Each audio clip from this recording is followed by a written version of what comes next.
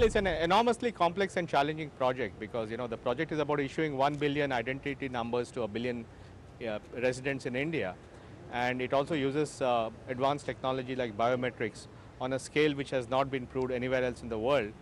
Uh, so I think it's a very very complex project technologically as well as uh, it's a project that requires a very high level of coordination among different arms of government.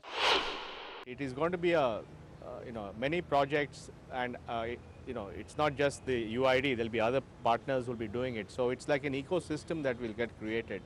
So certainly the Indian uh, Indian technology industry can definitely uh, do it. And you know they have done projects all over the world. There's no reason why they can't do it in India.